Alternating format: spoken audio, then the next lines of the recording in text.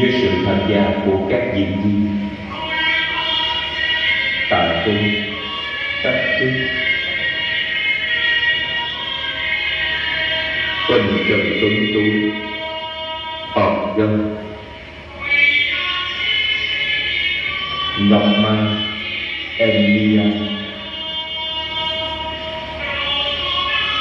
liên phước sang đa liên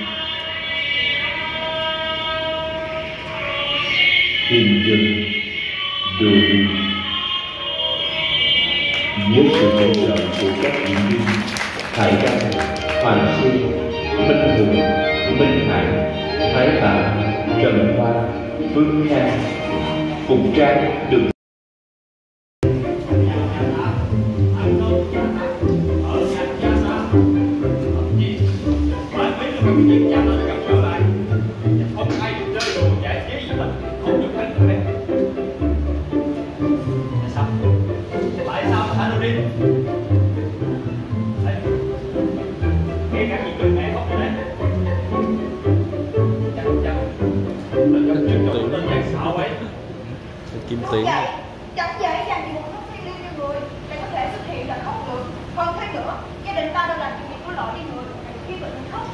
nếu có cũng là do tiêu chuẩn chăm sóc chết đáng chết mà thôi. Tự nhiên một thằng cha năm tôi biết từ đâu tới đây. Làm chúa tới cái ngôi nhà này một thằng không khách đâu ơn lúc mới đến đôi giày cũng chẳng có. Cả vào một cách đá giá nửa xu vậy mà bây giờ nắp thấp ngôi nhà. Đó cụ lễ một phút chết đẹp đi qua một con cha ta làm. Được. Cho không chậm ngay bây giờ. Ôi, tôi biết, tôi biết đó Đâu, tôi biết.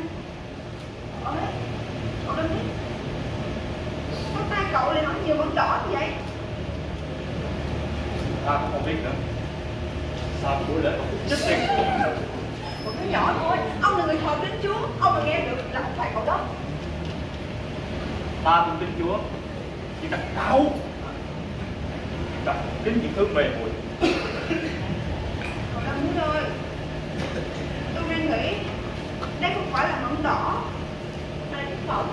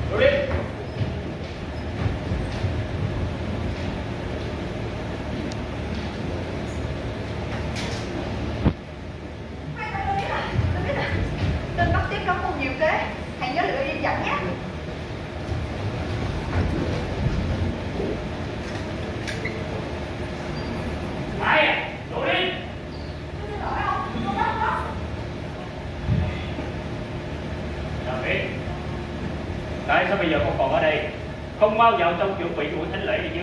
Dạ. Hay quá. Con có chuyện muốn thưa với cha. Chuyện gì? Nếu như là chuyện gì này thất tiếp thì ta sẽ không nghe đâu nhé. Dạ. Tại sao chứ cha? Tại vì hàng ngày ta đã nghe quá nhiều về những gì mà cả nhà này nói xấu về ngài thất tiếp đáng kính. Chỉ vì ngài ấy là một người dốc lòng thờ chúa và căm thù tội lỗi. Bao vào trong chuẩn bị đi. Con vừa mới gặp ông ta tán tỉnh gì con?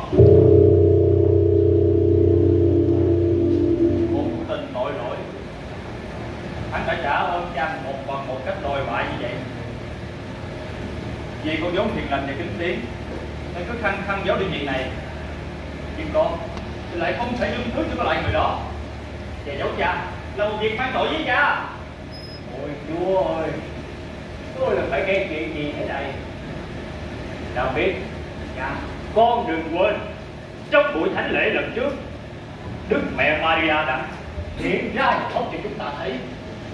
Ôi, Nhưng giọt nước mắt của Đức mẹ Cảnh báo về sự xuống cấp về mặt đạo đức của gia đình này. Đừng du khống cho ngài thấp tiếp tội nghiệp nữa. Bao vào trong chuẩn bị đi.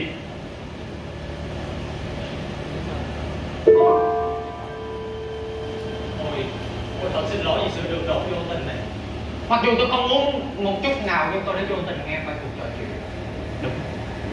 Tôi là một kẻ khốn nạn, một thằng gian xảo và dối trá nhất cái thế gian này. Tôi cứ sống một phút là nó nhơ nhút cả sáu mươi Tắt tiếp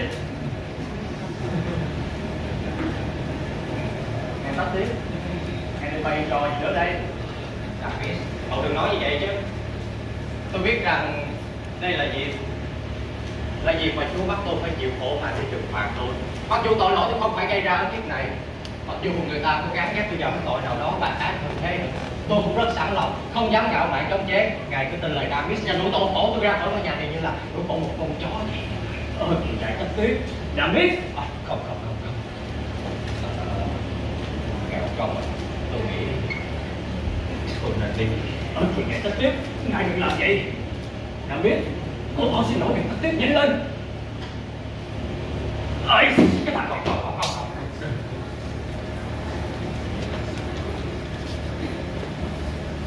tôi muốn nói chuyện với con đại thôi.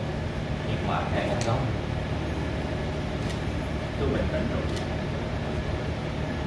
Tôi bình tĩnh rồi đó là là hết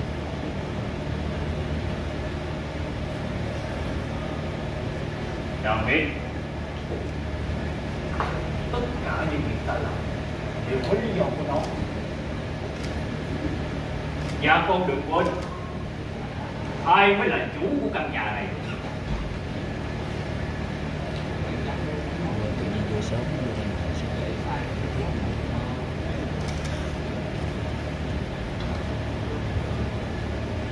không có cha ta ở đây thì ngươi đừng học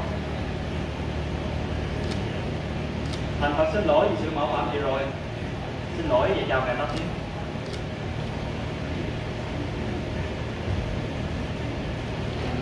ôi thưa đã kính. Xin đây thứ lỗi cho sự bất kính mà thằng con trai của tôi đã đã nói với ngài. À, xin ngài tha thứ cho sự ngu muội đấy.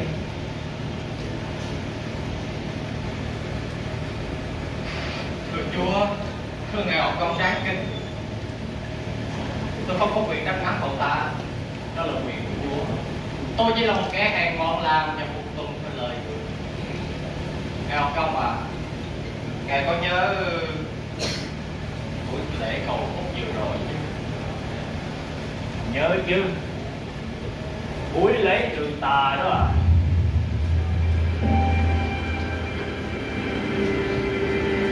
Đức mẹ đã khóc Và buông có nhớ?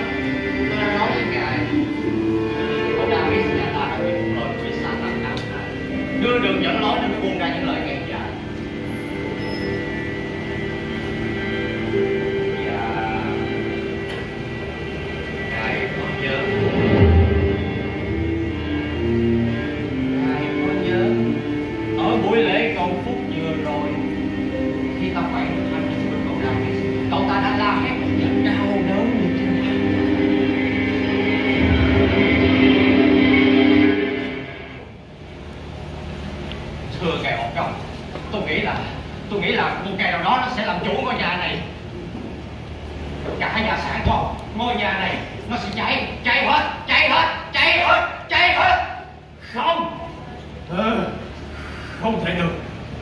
ngài tất tiếp là xin ngài tôi không thể để con quỷ sa tạm ấy lấy hết cả gia tài của tôi. Xin ngài hãy giúp tôi giúp tôi ngài tất tiếp nghèo không ở trong căn nhà này và ở địa vị của tôi, thì ngoài ngài và bà bé nét đáng quý ra thì có ai trong ngôi nhà này nghe cái lời tôi nói đâu? Tôi nghĩ phải gì phải gì phải gì địa vị địa vị nếu như ngài có địa vị trong căn nhà này, thì tất cả mọi người sẽ nằm đất nghe theo lời ngài. Sẽ chẳng còn ai, chẳng còn ai dám vu khống việc đông đất cho ngài tất tiếp của tôi nữa. Đúng như vậy. Ngài tất tiếp ngài ở đây chờ tôi một chút.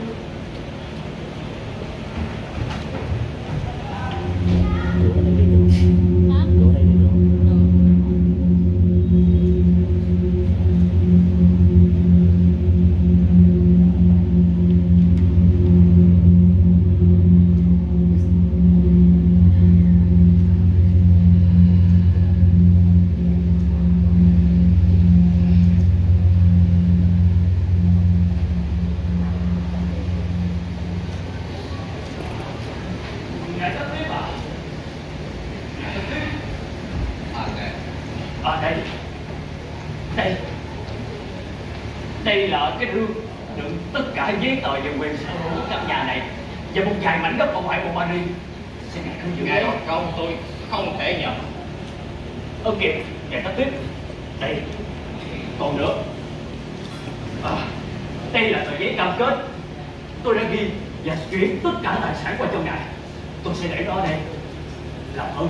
Nghèo không tôi không thể tôi không thể nghèo không à tôi xin ngài giữ nó và trục xuất con quỷ khỏi người của David tôi không thể tôi không thể nhận những cái thứ này nghèo không lạy chúa tôi bây giờ phải làm sao đây tôi xin ngài với thất tiếp không à, tôi nghèo không tôi nghĩ Cha! Tại sao tôi làm cái gì điên rồ nữa vậy? Ơi!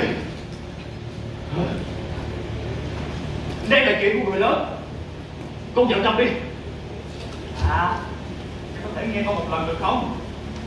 Con kiếp này là một cái đạo đức giả Dạ cái đường đây. Dạ. Anh này nắm tình cho cha coi đó.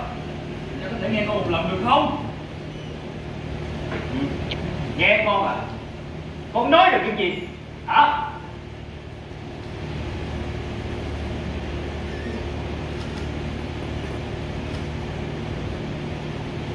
Biết Mau xin lỗi người ta tiếp đi. Nghèo không à tôi nghĩ là ngài nên nghe theo và tống cổ tôi ra khỏi ngôi nhà này. Ngài không cần phải như vậy thôi ngài ta tiếp làm ơn Mau xin lỗi ngài đã biết đi. Đã biết. Sao? Điện tử của nó đã cám dỗ cha đến như vậy à? Đăng quay xong. Tại sao cha lại bắt xin lỗi nó? cái ra. Đi đi. đi. Bên này đúng không? Con trai của cha đã biết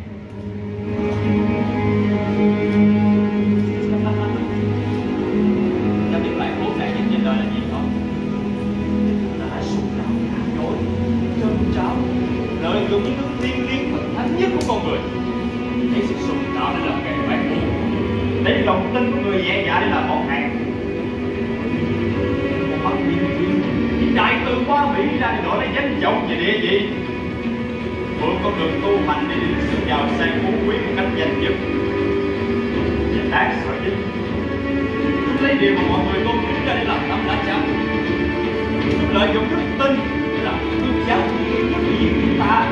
Tất cả là đi trong ngôi nhà này nó chẳng có biết đâu. Vậy, order.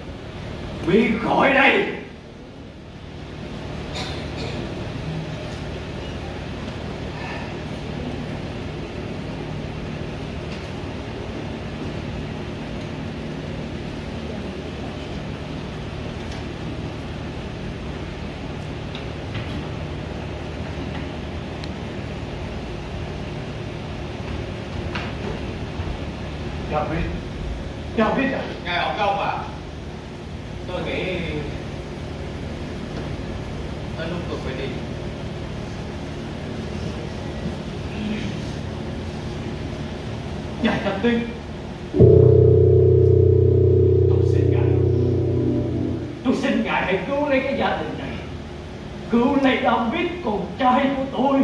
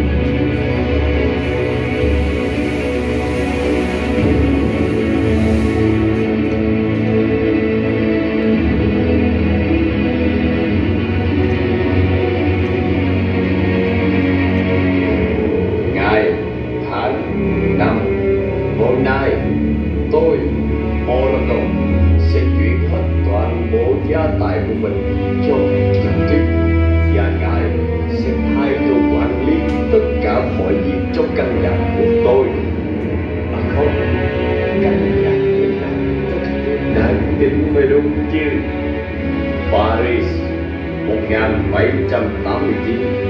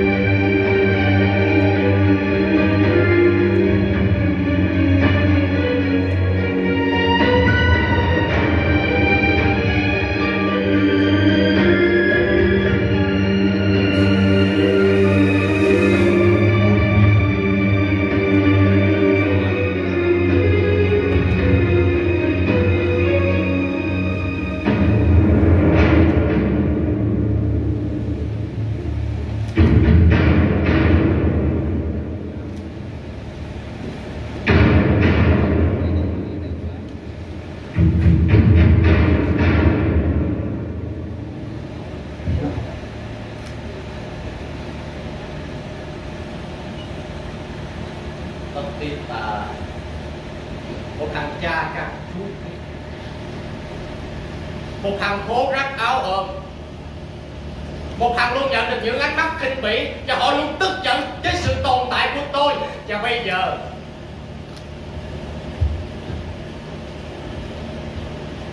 và bây giờ tất tiếp đang làm chủ một ngôi nhà? Một ngôi nhà nguyên gia và tráng lệ nhất cái thành phố paris này. Cười tôi nữa đi cười tôi nữa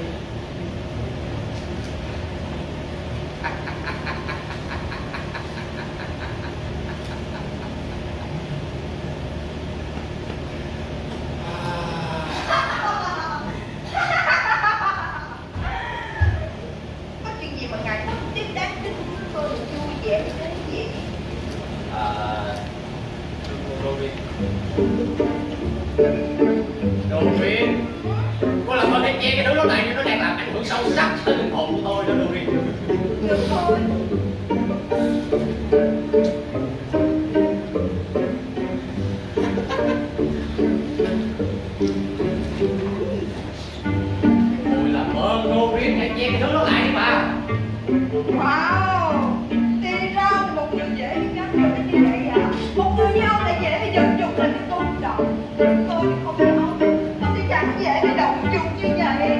Bây giờ ông mà cái chân chuột đi chăng nữa cái thân xác này của ông, cũng chẳng thể làm cơ thể tồn được.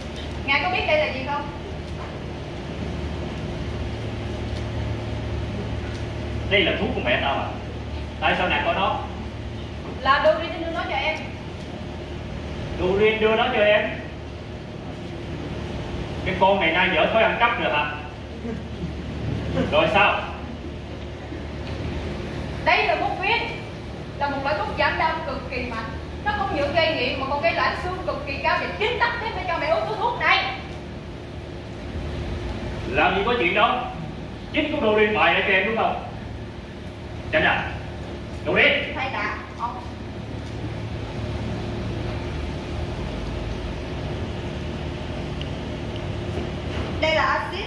Thuốc và tóc tiếp đã cho dòng nước. Nhà trộn lẫn với nhau. Ở lợi của hộp thuốc hôm đó, Dùng thứ này vậy mà cậu đã biết. Khi cậu đã biết đau đớn của ông. Và những gì tóc tiếp mang đến cho ngôi nhà này đều là giả tạo.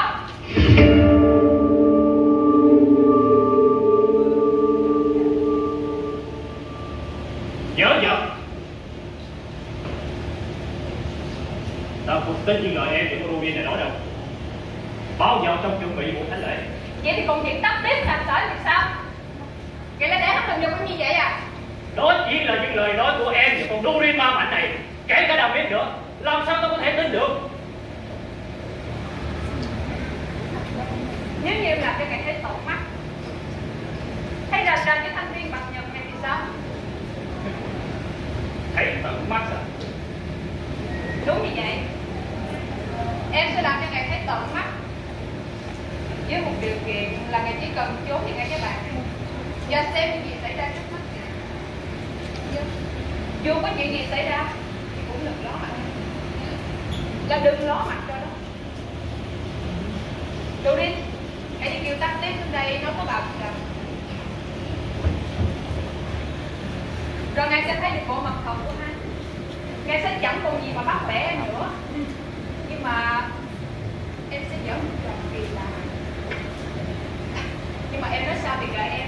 Chỉ cốt sao cho ngài nhìn thấy như những gì em đang nhưng mọi chuyện không xảy ra theo đúng lời nói của em thì sao? Đây có đức mẹ làm chuyện khác nếu không có chuyện gì xảy ra thì em Davis và Dorin sẽ chẳng bao giờ nó không tốt vì ngày tóc biết đây có phải là những trò danh mạnh mà em và con Dorin đó?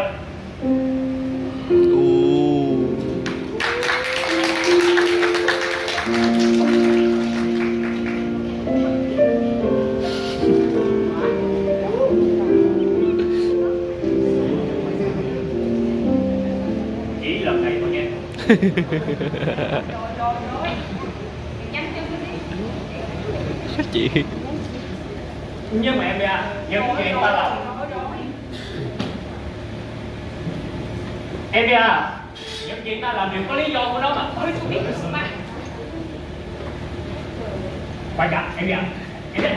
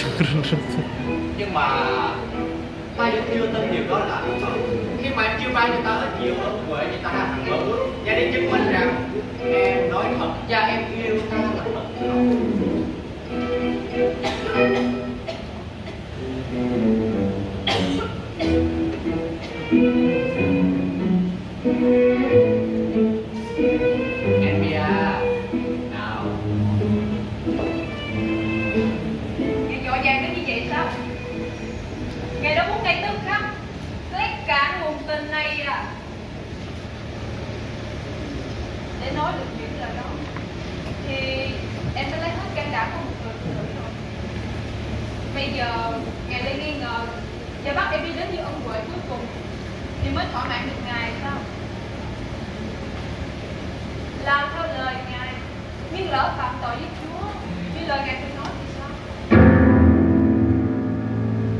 Muốn hồi về ở nơi này? Khu vườn này? Nơi chỉ dành riêng cho việc thờ em kia à, em quá căng.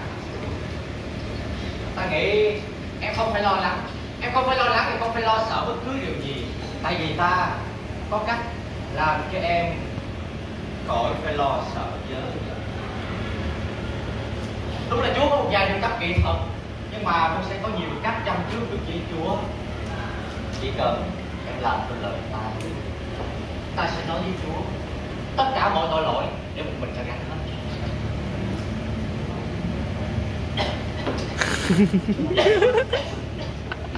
Em à em ổn.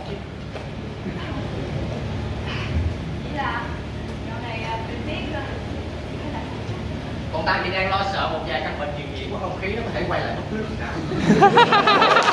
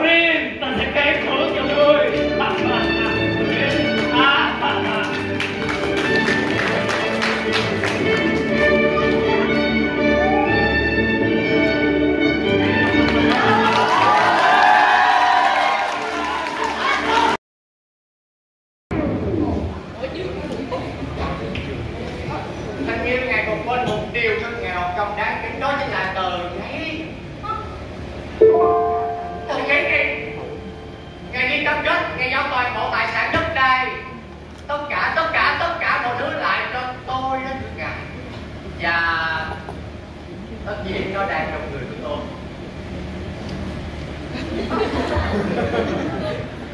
Đâu rồi. Đâu rồi.